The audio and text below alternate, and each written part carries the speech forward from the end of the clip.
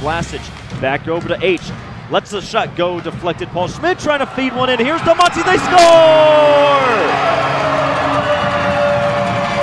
The defenseman, the net presence, Matthias Del Monte pokes it home, and the Bulls strike first on the power play.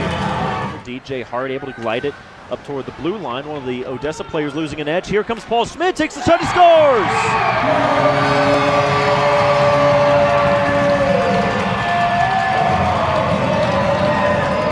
Schmidt let it go on the turnover at the blue line, and the Bulls have a 2 0 lead by Venigoni, but he couldn't get it out.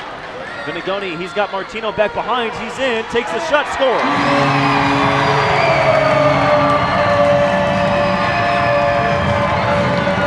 Martino will ice it.